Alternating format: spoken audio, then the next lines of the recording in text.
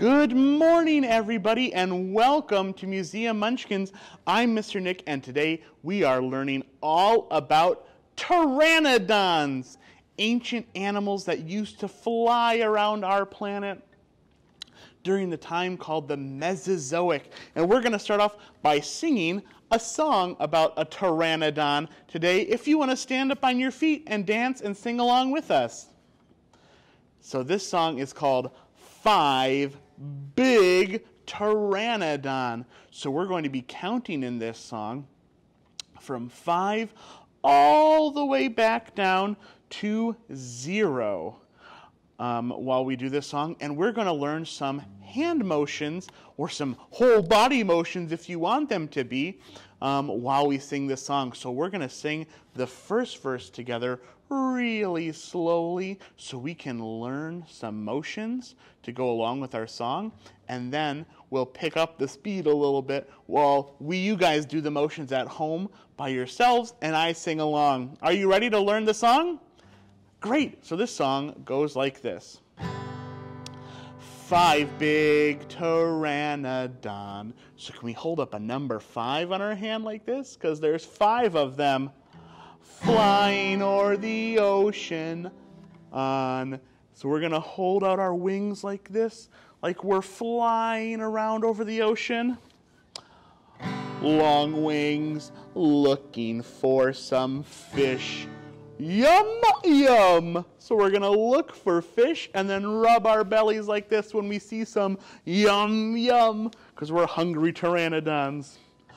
One dove beneath the waves. So for that, for diving, we can put our hands together like this and like we're diving into some water so they could catch their prey.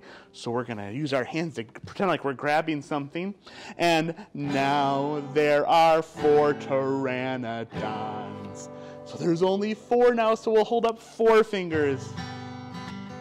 Do you think that you can do those motions along with us?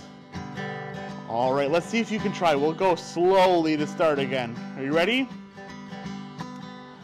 Four big pteranodons flying o'er the ocean on long wings, looking for some fish. Yum, yum. One dove beneath the waves so they could catch their prey. Now there are three pteranodons. Can you hold up your number three? Very good. Three big pteranodons flying o'er the ocean on long wings, looking for some fish. Yum, yum.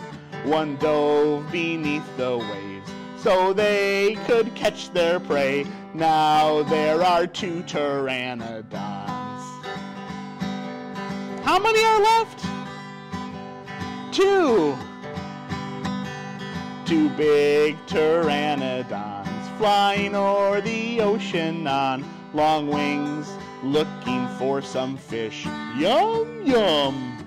One dove beneath the waves so they could catch their prey. Now there is one pteranodon. Just one big pteranodon left. Let's pretend this one pteranodon that's left is the biggest one of all. So can we get really big? And one big pteranodon flying o'er the ocean on long wings, looking for some fish. Yum, yum. One dove beneath the waves so they could catch their prey, and now there are no pteranodons. Very good. Thanks for singing that song along with me. I'm going to set my guitar down so that we can talk all about pteranodons. So, have you ever seen or heard of a pteranodon before? Maybe you have. So, a pteranodon is an animal that looks a little bit like this. In fact, it looks just like this. So, pteranodons are a type of animal called a pterosaur, a flying reptile that lived on our planet a long, long, long time ago.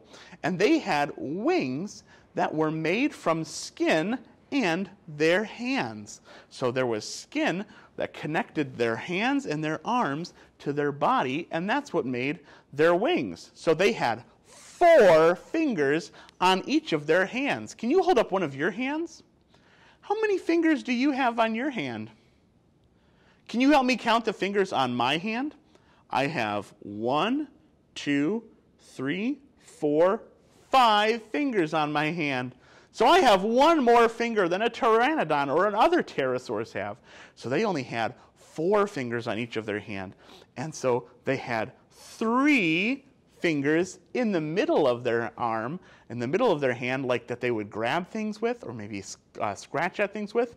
And then the most of their, their wing was made with just their one finger, their ring finger, which was very, very, very long. Can you imagine if you hold out your arms? Can you hold out your arms as far as they will go? And now imagine that your arms are twice as long just because of your ring finger. Because it, if your ring finger grew to be the same length as your whole rest of your arm. So they had a really, really long finger that made up the rest of their wing. And their bodies were covered in a substance. Kind of like hair, not quite hair though, and not quite feathers either. They were called pycnofibers. Can you say that word with me? That's a fun kind of a fun word to say. Pycnofibers. So it kind of like sounds like someone telling us to pick no fibers. So don't pick up any of those fibers. And that's what their bodies were covered with. So kind of like a hairy substance, but it wasn't actually hair like we have or like other animals have. And pteranodons and other pterosaurs were not dinosaurs, even though they lived at the same time as a lot of dinosaurs like Tyrannosaurus rex and Triceratops, they weren't dinosaurs. They're related to dinosaurs because both of those animals are reptiles, but they're their own group of animals, not dinosaurs. So sometimes people get a little bit confused about animals when we think about them that lived so, so long ago. And that's part of my job here at the museum is to help teach people about the differences between all these amazing different animals that used to and still do live on our planet. Now, Pteranodon was first found in the year 1870. That's about 150 million years ago, or 150 years ago. In fact, that's 150 years ago this year, this summer, is the anniversary, the 150th anniversary of the first discovery of Pteranodon way back in 1870 in the state of Kansas. Because uh, and pteranodons are only found here in the United States. So if I grab my globe here, and I'll get a little bit closer so we can see. So pteranodon is only found here in the central, sort of western United States. So here's Kansas, and that's where the very first pteranodon was found. We don't find them up into Canada or down into Mexico. We only find them here in the United States and North America.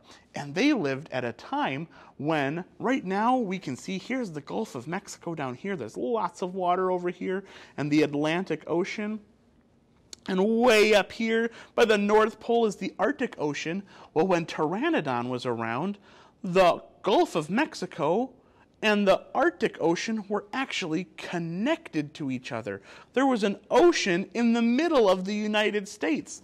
And that's where we find a lot of our Pteranodon fossils. It was a place called the Western Interior Seaway, and it's all dried up now. There's no ocean in the middle of the United States now, but a long, long time ago, millions of years ago, when Pteranodon was around, there was an ocean, which I think is pretty cool. Now, pteranodons were pretty big animals, even though they were only about four feet tall. So only they would only come up to about here on me about four to five feet tall. They had wings that would stretch about 20 feet out, 20 feet across. So they had these huge, giant wings that they used to soar around over the oceans looking for food. Kind of like an albatross. If you've ever heard of that bird that lives around on our planet today, an albatross uses its long wings to soar over the oceans too, looking for food. And they can do that, and they don't use very much energy. They can just glide on the ocean currents, on the wind that blows over the waves of the ocean. Pretty interesting. Now, Pteranodon's name means toothless beak because it didn't have any teeth in its mouth. It just had a long, sharp beak that it would use for catching fish.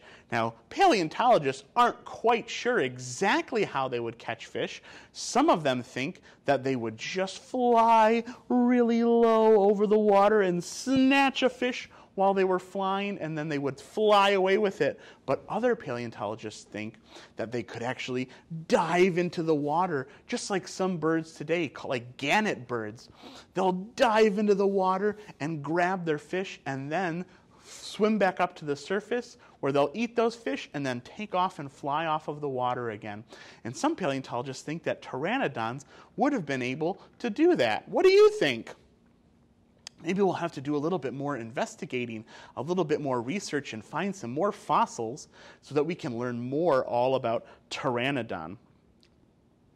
Now, when they weren't flying, they could walk around, but when they walked around, they walked around on all four of their limbs. So they walked on both of their arms and both of their legs, and they kind of stuck their arms out a little bit. Like if you've ever been to the zoo and seen a gorilla or an orangutan walking around with their arms on the ground too, their arms kind of would have stuck out a little bit with their elbows sticking out so that, and then their ring finger pointing straight up so that they wouldn't hurt or damage any of that skin that they made their wings with.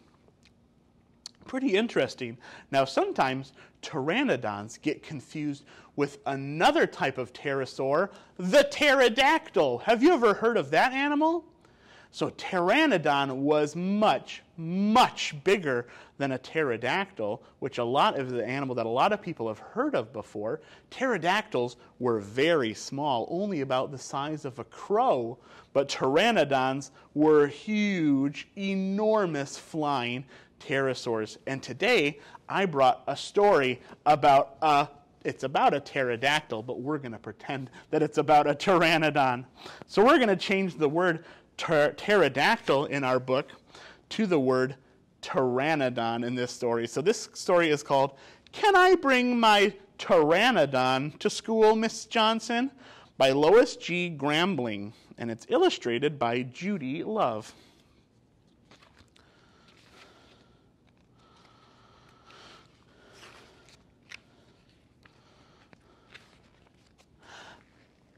Can I bring my pterodactyl to school, Miss Johnson? Can I, please? If I brought my, uh, my pteranodon to school and our school band was on the 50 yard line during our homecoming game, playing our school song, Franklin Elementary, We Love You, and it started to rain, and our uniforms were beginning to get wet, and the tuba was filling up with water, my pteranodon could spread his wings wide and cover us all. My pteranodon would be the biggest supersized umbrella ever. Then we could finish playing all seven verses of Franklin Elementary, We Love You. Can I bring my pteranodon to school? Please, Miss Johnson, can I please?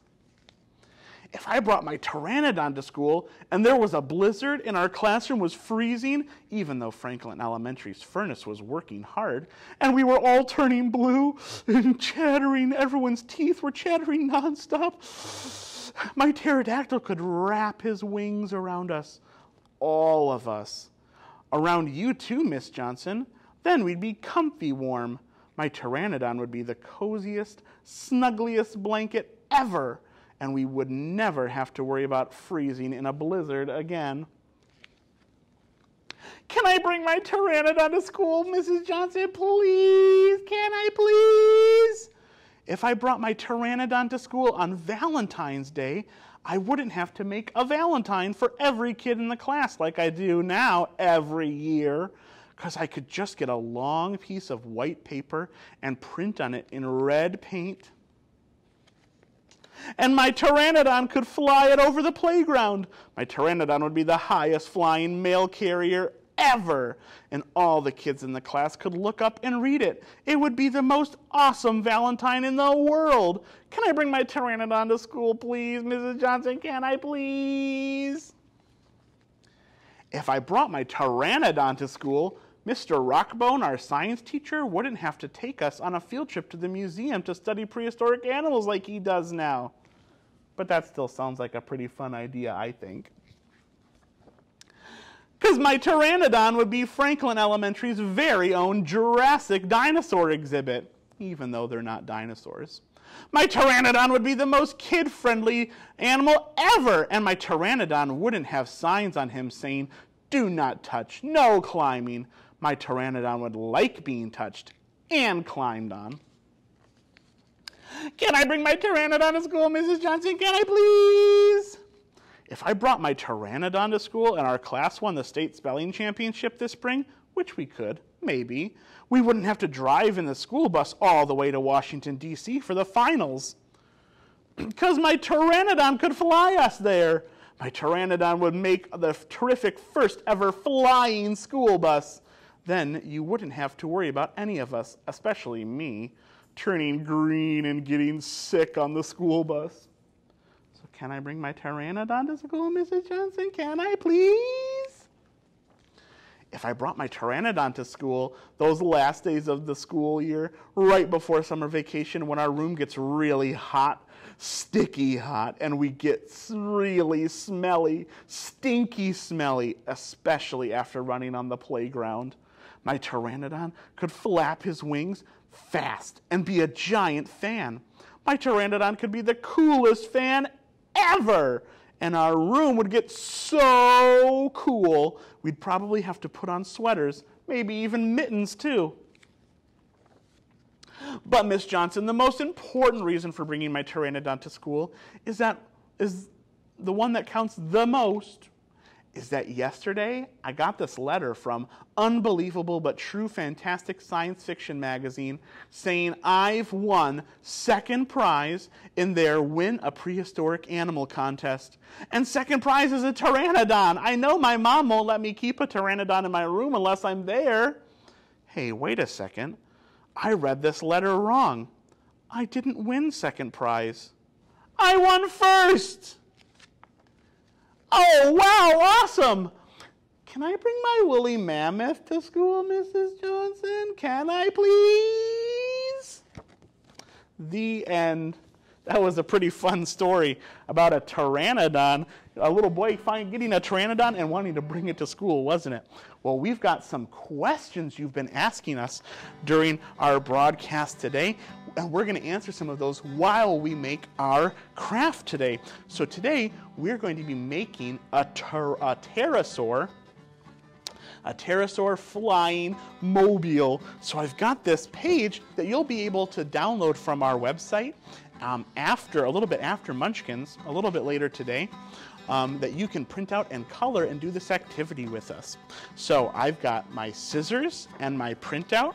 I've got a hole punch and some straws, two straws, and some colored pencils to color with, and some string and a paper clip, and that's what I'm going to need to make my activity today. So the first thing I'm going to do is color my pterosaurs. So I'm going to pour out my colored pencils here so that I can color these pterosaurs. Now on my pterosaur sheet, I've got four different pterosaurs. I've got a Quetzalcoatlus, I've got a Pteranodon, I've got a Rhamphorhynchus, and a Tapejara.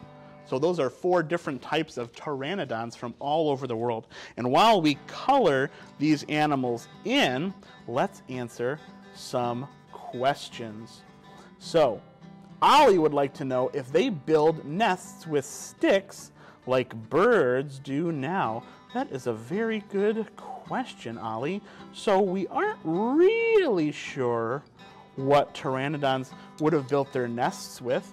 So we know that they usually probably nested near or on the tops of cliffs overlooking the ocean, or they would have just nested sort of near the ocean, um, since that's where they like to get that's where they like to get their food from. Um, and lots of animals who nest near the ocean now, some of them use sticks to make their nests. Some of them just make their nests right on the rock. So we're not entirely sure what a pteranodon might have made its nest with. Um, but maybe one day a paleontologist will go out looking for pterosaurs, looking for pteranodons, and they'll find a pteranodon nest.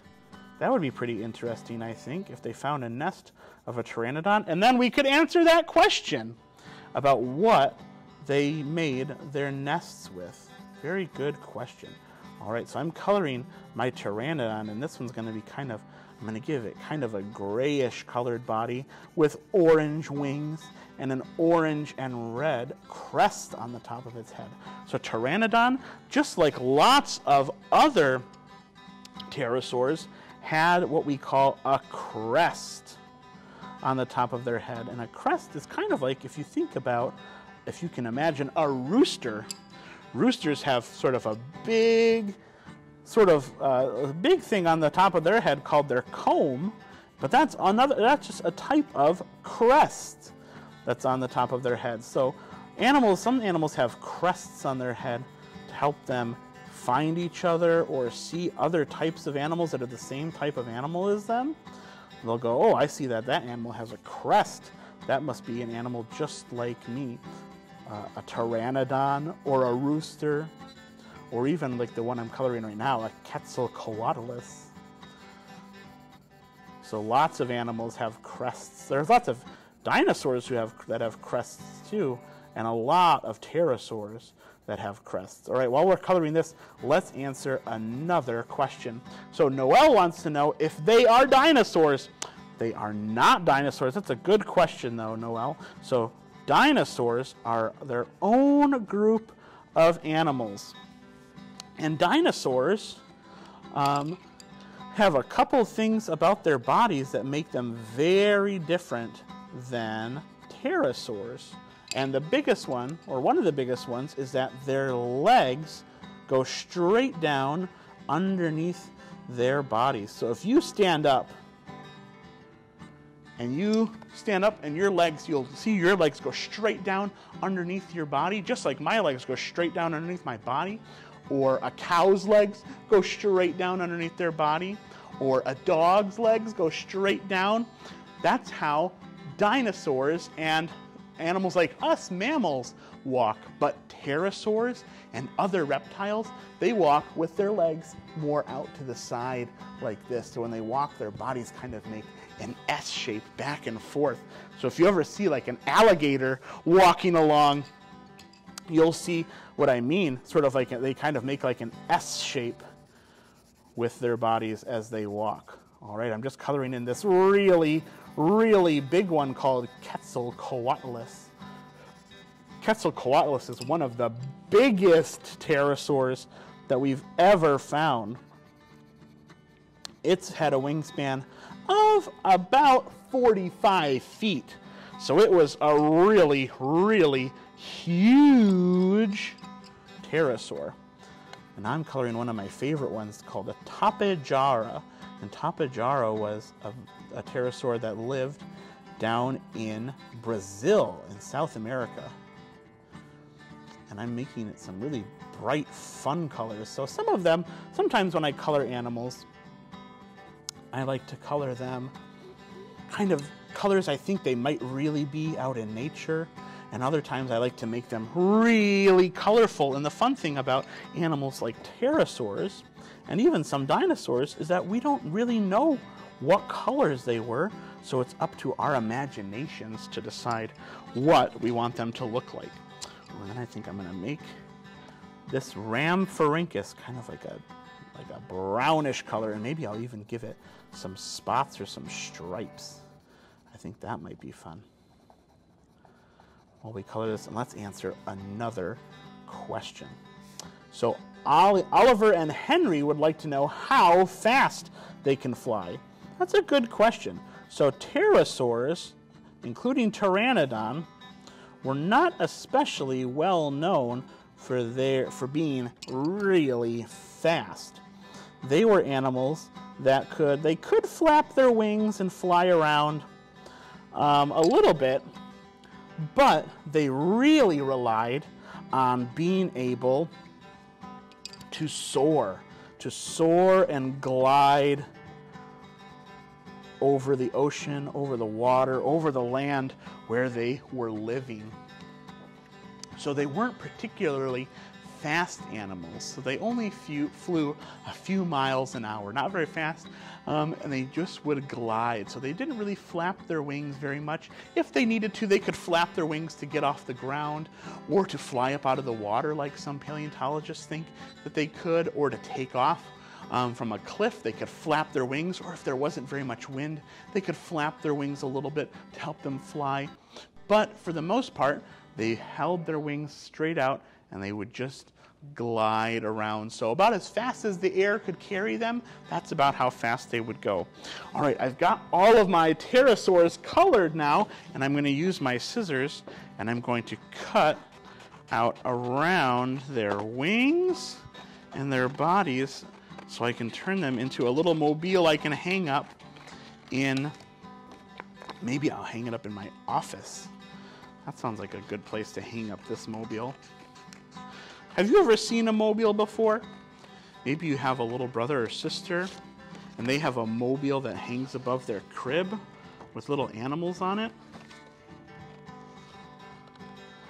So a lot of times babies like looking at mobiles. They like things hanging above them so that they can see them and they like to observe them. That's a very sciency scientist thing to do to observe things in your surroundings. A lot of people think about babies as being scientists, but scientists are just people who like to ask questions about the world around them and learn more about it. So if you like to ask questions, which I know some of you do because you've sent me some questions to answer while you watch our show, you're a scientist too. and it's really fun to be a scientist, I think. Right, I cut out the really big one. Hopefully the other ones don't take me very long to cut out. While I cut these out too, let's answer another question. So L would like to know what color pteranodons were. That's a good question, L.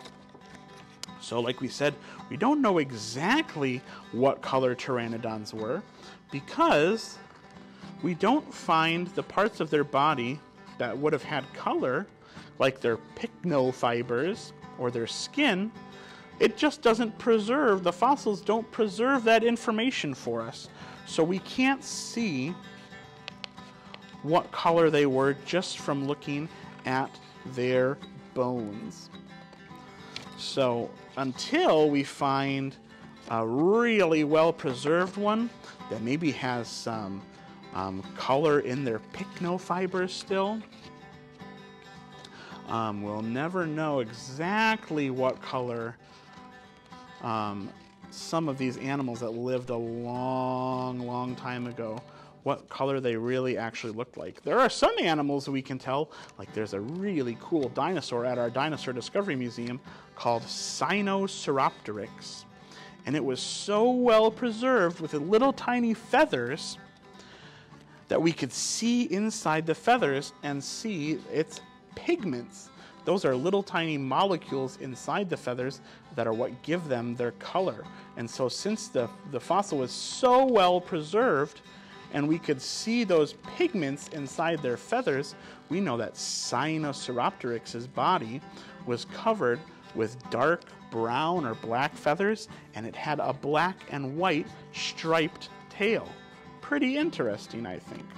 All right, I've just got to cut out my Rhamphorhynchus here, and then we'll be all ready to assemble our mobile.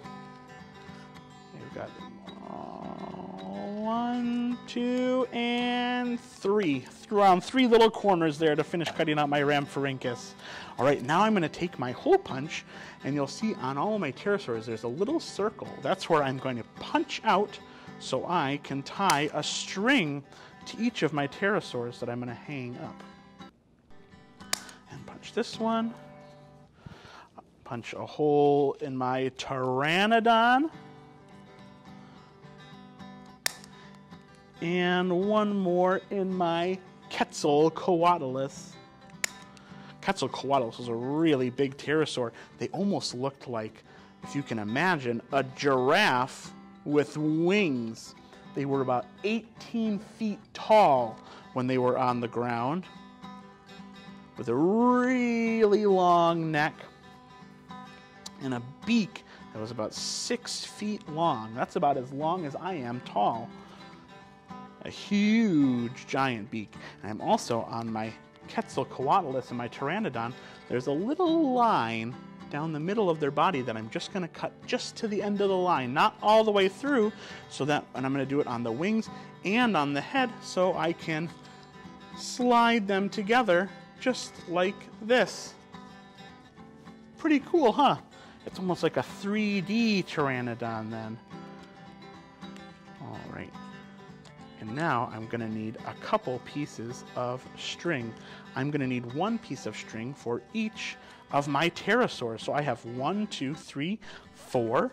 So I'm going to need four pieces of string. So I'm gonna cut kind of, I think, one big piece, and then I'm gonna cut that into smaller pieces because I don't need any of my pieces of string to be very long. And now I've got two. And if I cut it in half again, now I've got four pieces of string. Perfect. So I'm going to tie one string to each of my pteranodons through that little hole that I punched. Are you learning to tie yet? To tie your shoes? So sometimes, right now we're learning, maybe learning how to tie our shoes and find that a little difficult, it can be hard to learn how to tie your shoes. And it takes a lot of practice to learn how to tie and learn how to tie things quickly. But once you get it, it's worth it and you can you use it a lot. I bet if you told me when I was a little boy that I needed to learn how to tie my shoes so that later I could make a pteranodon mobile, as part of my job, I don't know if I would have believed you. All right, I've just got two more that I need to tie. All right, there we go. Now, what you could do is you could tie each of those strings to the ends of each of your uh, your straws, but I'm going to do something. I'm going to try something a little bit different. I'm going to try taking my scissors, and you might need help with this part, and I'm going to cut a little slit in the end of each of my straws in each end of my straws very carefully. So then I can just slide the string in that little slit. And if I need to make more pteranodons or more pterosaurs, then I can I can take those off or I can replace them. And then I'm gonna take my paper clip and I'm gonna open it up like this so it kind of makes an S shape just like this and then I'm going to push one end of the, the paper clip through the middle of my straw, which I think you'll need a adult's help for this part because it can be a little bit hard to do that. And I'm going to make it so that my straws make kind of an X shape. So an X looks like two lines crossing over each other, just like that. And now I can slide my strings in between the straws in those little slits that I made. And since these pterosaurs aren't very heavy, they should just be able to hold, the string should be able to hold them in there. And voila, look at that. Those pterosaurs flying around. So cool. So hopefully you have fun making that art project. And thank you guys so much for coming and joining to us today to learn all about Pteranodon and some other pterosaurs too. We hope that we, you join us next week when we learn all about cicadas. All right, thanks so much for joining us, and we'll see you next time.